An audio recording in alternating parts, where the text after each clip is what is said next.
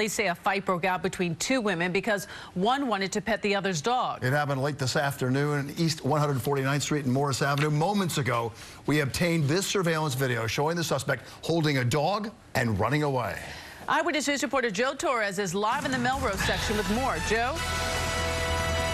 Sade will show you that video once again in just a moment, but what a disturbing turn of events that happened here in the Bronx right around 2.30 this afternoon on board an MTA bus, yes, East 149th Street and Morris Avenue here in the Melrose section. Take a look at the video. Two women, both of them passengers on the bus, and yes, one of the women was holding a dog. The second woman, innocently enough, just went to pet the dog, and the dog owner, for one reason or another, took offense, got mad, pulled out a knife, a sharp object, and slashed the woman's face. Not once, not twice, but four times. Thank goodness Lincoln Hospital is right across the street, street from where this happened. The victim was rushed over there to the emergency room. We're told she should be okay.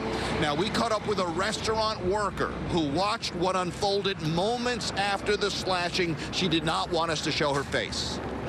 Uh, I saw people uh, getting out the bus, and one girl was trying to take a taxi.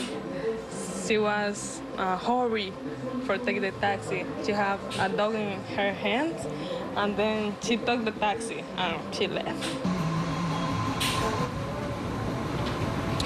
And she left, said the woman. This here is the security camera video taken from one of the nearby businesses. Again, you can see two women, one in a white, one in a black coat, getting off the bus. The woman in the black coat was holding what appears to be a dog as she went across the street. And again, according to the witness, tried to get into a taxi and take off. That video, you can bet, will be a big help to investigators as they try and track down this woman who, again, slashed a bus passenger this afternoon four times times across the face. Thank goodness the hospital right across the street, we're told that victim is expected to be okay.